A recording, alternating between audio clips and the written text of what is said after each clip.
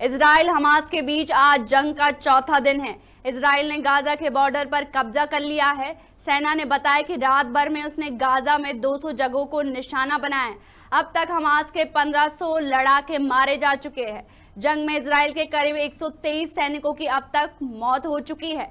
दूसरी तरफ़ हमास के हमलों में थाईलैंड के अब तक 18 नागरिकों की मौत हो चुकी है।